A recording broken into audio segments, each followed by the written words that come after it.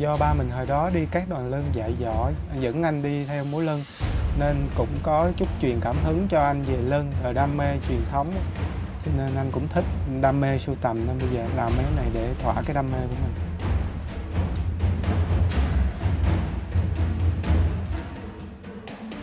Chào mừng quý vị và các bạn đang đến với chương trình Made in Việt Nam, Đường ra thế giới.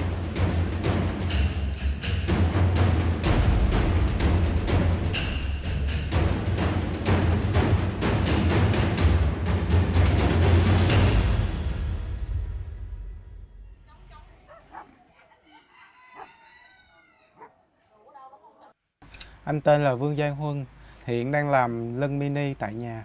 Lúc trước thì anh cũng làm bảo vệ, do Covid cô anh mất nên không ai trông bé, cho nên anh phải nghỉ ở nhà trông bé. Và vừa trông bé thì anh vừa thấy hình trên mạng nên anh làm theo, mô phỏng và anh đăng lên mạng thì có rất nhiều người hỏi mua và anh bắt đầu làm nghề này.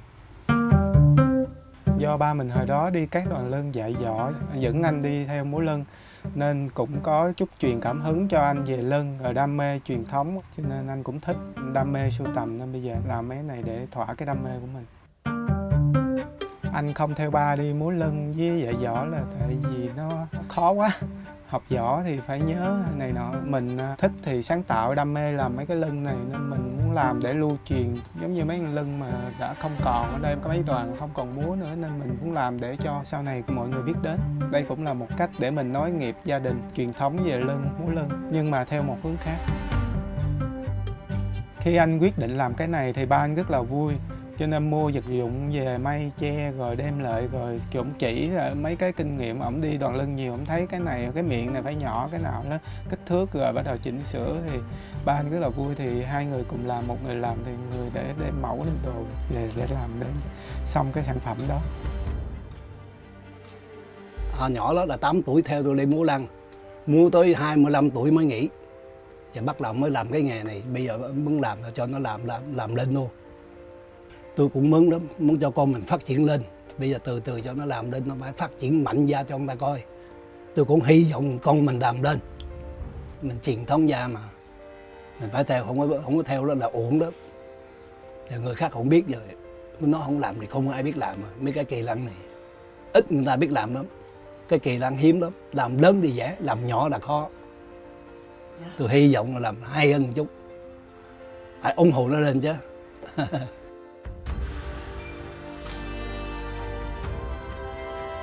nhờ có ba trong các gia, quan hệ giao tiếp từ các đoàn lân nên ba cũng có lấy mẫu về để cho anh làm mô phỏng theo ừ. có mấy cái đoàn lân thất truyền lâu năm rồi ba cũng có đi lại chỗ đoàn rồi ba chụp ba đem hình lại mình làm mình thu nhỏ lại như điển hình là con hẩu này cũng thất truyền từ lúc giải phóng tới giờ rồi ba có chụp hình lại rồi đưa anh mô phỏng làm rồi thu nhỏ lúc bắt đầu thì cũng có gặp khó khăn là những những cái vật trang trí như là sành hùng mắt trâu, rồi chuông được rồi mình phải đi kiếm mua. Tại vì hàng nhỏ là không có vì mình kiếm mua để mình chế lại thành, nếu mà lưng lớn thì nó bán đầy mắt đồ. Còn mấy cái hàng nhỏ này mình phải đi mua, đi kiếm, rồi để về trang trí cho nó vừa khớp với con lưng đẹp. Làm lưng này cũng phải quan trọng là coi thời tiết, ngày nào nắng thì mình sẽ dán phôi mình phơi cho khô rồi ngày nào mưa thì mình ngồi vẽ hoặc là ngồi trang trí làm mấy cái sản phẩm còn lại. Chứ ngày nắng mà, ngày mưa mà mình làm mình đem ra sản phẩm nó không khô, nó hư hết sản phẩm mà.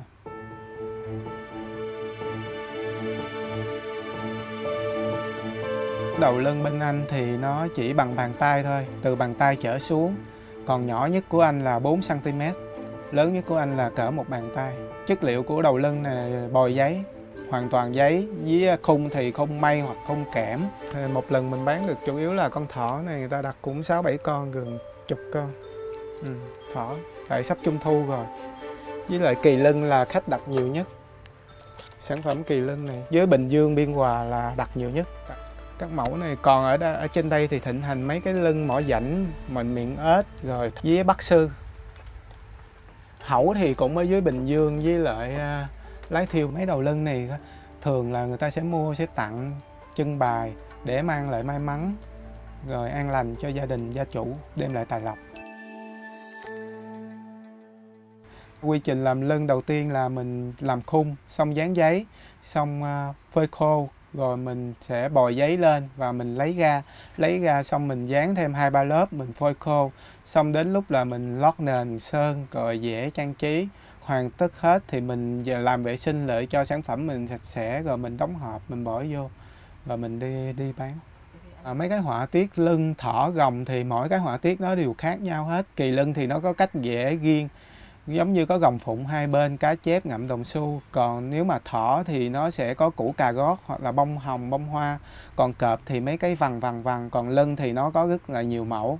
Lưng mỏ vảnh phật sơn miệng ếch nên rất là nhiều nên mình cũng hoa văn nó rất là phức tạp. Theo những cái mà anh làm thì cái công đoạn vẽ nó nó phải yêu cầu mình phải tỉ mỉ và mình phải vẽ lên cái hồn của nó. Nên cái giai đoạn đó là hơi bị khó. Vẽ để mình muốn bán được một cái sản phẩm thì mình cũng phải vẽ đẹp người ta mới mua. Mình phải vẽ sao mà cho nó hiện lên được cái thần thái với cái mắt nó.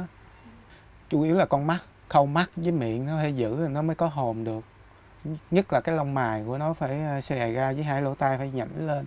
Ta nhìn vô mới thấy được cái độ giữ của nó.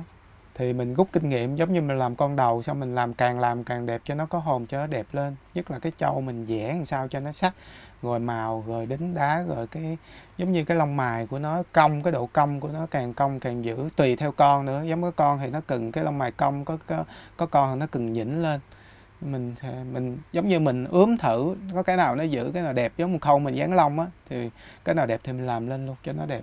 Giống như con dán nó tùy tùy kiểu. Mấy sản phẩm này thì anh mất cỡ một tuần đến hai tuần để hoàn thành có những ờ, kỷ niệm vui với nghề làm đầu lân mini tại nhà là mỗi khi mình làm xong hoàn thành sản phẩm mình bán cho khách khách nhận được nói đẹp quá khách trưng bày lên kệ lên nào rồi chụp hình gửi mình. Thì trong đó cái, cái lòng mình cảm thấy rất là vui vì hàng mình được các khách à, trân trọng rồi quản lý tốt và bởi vậy thích đam mê. Cái đó rất là vui chủ yếu mình làm mình bán cho mấy khách mà cảm thấy đam mê vui. Còn những khách mà mình không có đam mê không có gì mua là mình thấy mình giống như mình không có được cái niềm vui cái đó chỉ có đam mê với nhau mới biết được cái cái sở thích cái đó. Mô hình. À, khách hàng cũng rất là đa dạng. Giống như khách trên Face, khách trên Zalo, khách trên Lazada với lại khách nước ngoài thường nhắn Face đặt. Tại vì trên Facebook mình cũng có kết bạn rất nhiều với à, lưng bên nước ngoài, các uh, các nước. Nên khi mình đăng lên thì các bạn đó thấy nên các bạn đó đặt. Tại mình đam mê, mình cứ thấy con nào đẹp khách đăng cái mình like, mình thêm bạn rồi. Cũng rất là nhiều, trên Facebook mình rất là nhiều, cho nên mình đăng thì mấy ngàn người cũng thấy. Rồi họ sẽ đặt mua. Ừ. các bé nhà mình rất thích chơi với lân là mỗi lần bán là mấy bé không chịu, kêu để lại cho mấy bé chơi. Cứ mỗi lần làm xong là đẹp quá, ba để lại đi, ba để lại đi. Nhưng mà không được làm hàng đặt rồi anh có ý định là để các bé nối nghiệp nghề làm đầu lưng này nhưng mà để phải coi tài năng với cái hội họa của mấy bé với khả năng của mấy bé ra làm sao có thể làm được không? Thì mình mới truyền lại cho bé chứ bé làm không được bắt bé làm thì cũng không có thành ra được cái sản phẩm đẹp.